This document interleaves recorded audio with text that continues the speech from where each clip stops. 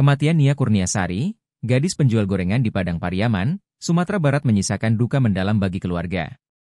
Ibu korban, Eli Marlina meminta agar pelaku pembunuhan dihukum mati. Saat ditemui Tribun Padang pada Jumat, 20 September 2024, Eli mengaku senang karena pelaku pembunuhan akhirnya berhasil ditangkap. Ia pun berharap pelaku dihukum seberat-beratnya, bila perlu hukuman mati. Eli sendiri menduga bahwa pelaku pembunuhan dan ruda paksa terhadap anaknya lebih dari satu orang. Pasalnya, jasad korban diseret dan dikubur setelah diruda paksa oleh pelaku. Sebelumnya, polisi berhasil menangkap Is di sebuah rumah kosong di kayu tanam pada Kamis, 19 September 2024, sore. Pelaku ternyata bersembunyi di rumah tersebut saat dikejar-kejar polisi. Dari hasil pemeriksaan, Is mengakui telah memerkosa dan membunuh gadis penjual gorengan.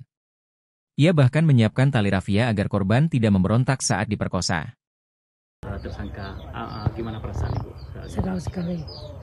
Kalau hukum hukum lah sebenar-benarnya. Dapat hukum mati.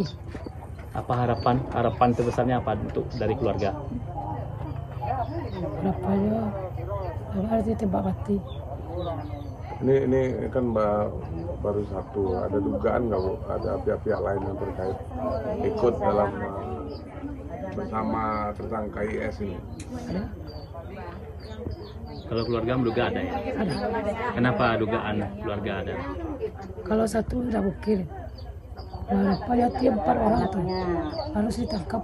Kenapa ibu menduga satu tidak mungkin? Ya dapat yang satu kalau satu ya bukir lah ada kita dikubur gitu aja.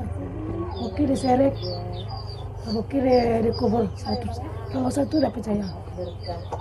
Jadi harapannya polisi terus uh, untuk menyidik atau memeriksa yang tersangkanya bu ya? Iya sebelumnya apakah keluarga korban korban keluarga kenal dengan pelaku? Tidak. Begitupun juga Nia. Tidak. Ibu sendiri nggak kenal sama pelaku? Nggak kenal. Nggak pernah ketemu? Tidak. Iya iya. Harapannya terus diusut ya bu ya? Ya, terus diusut. Hukum mati dapat. Download Tribun X sekarang. Menghadirkan lokal menjadi Indonesia.